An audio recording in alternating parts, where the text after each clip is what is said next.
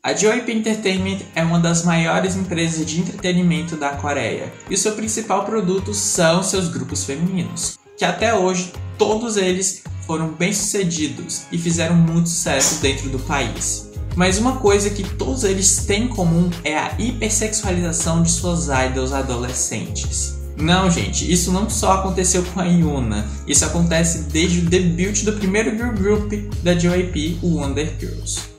Hey Angels, sejam bem-vindos a mais um vídeo, meu nome é Igor e hoje é dia de botar fogo na JYP.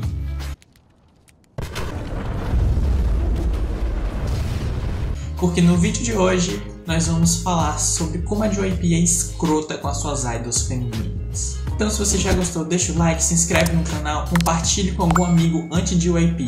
E caso você queira algum vídeo específico aqui no canal, é só deixar nos comentários. Então chega de enrolação e bora pro vídeo.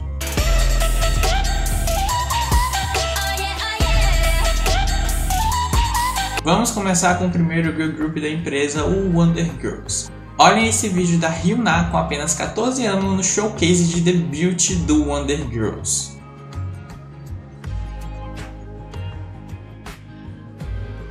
Ela estava dançando uma coreografia super sexy para a idade dela. Fora as roupas que as meninas usavam na época do debut do The Girls, que eram. Uh, eram adolescentes com roupas super curtas e coladas no corpo.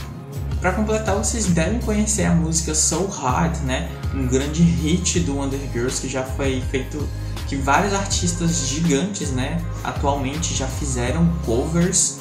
Pois é, né? Quem ajudou a produzir essa música foi o rapper R. Kelly, um rapper americano super famoso que está preso por abuso, assédio e pedo. Exatamente isso, pedo. Agora eu não sei o que se passava na cabeça da JYP para chamar um cara que já tinha boatos, né, de pedo para trabalhar com adolescentes que ainda usavam roupas super curtas, curtas e coladas no corpo. Inclusive, ele chegou aí em alguns shows do Wonder Girls. Tipo, cadê, cadê o senso de WAP? Continuando com a super sexualização, vamos falar de Miss A. No MV de debut das meninas é Good Girl, Bad Girl, temos novamente meninas muito novas fazendo coreografias super sexualizadas, usando roupas muito curtas e coladas, sem falar na letra provocante e nos photoshoots dessa era. Nesses photoshoots elas usavam roupas super coladas e curtas mesmo, tipo bem fetichizadas, velho. Destaque pra Suzy que tinha somente 15 anos e estava vestido de gatinha, coelhinha. E assim, não tinha necessidade disso, velho. Eu já mandei chamar o conselho tutelar.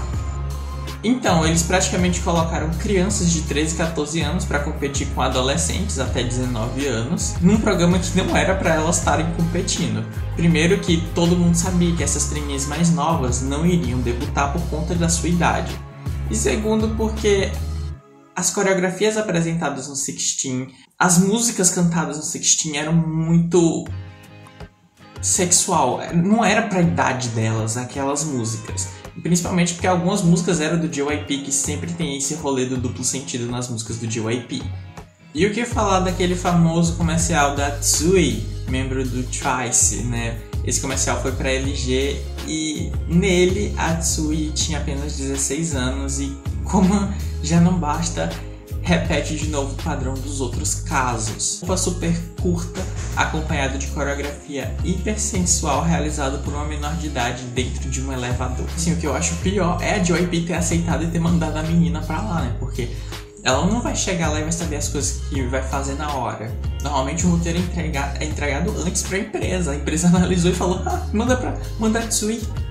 Manda a Tsui fazer. Tipo, sem noção total. E agora chegamos na era mais atual da empresa e pelo visto não mudou porra nenhuma, né, gente? Pois a Yuna é a vítima da vez.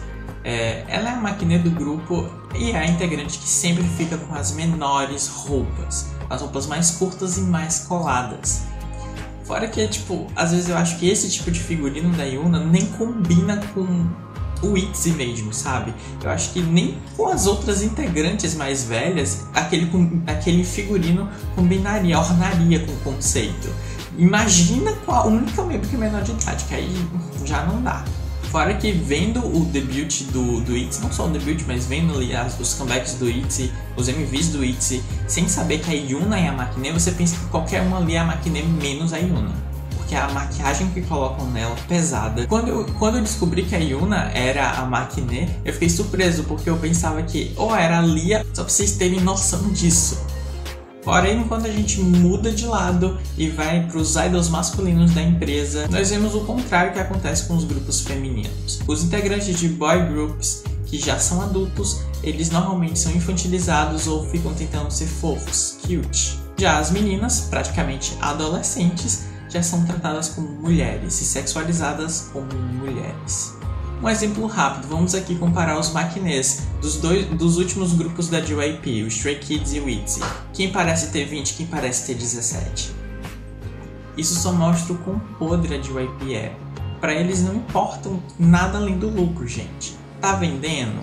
Tá tendo lucro? Vamos sexualizar a criança. Se isso tá rendendo, isso tá dando lucro para eles, eles vão continuar fazendo.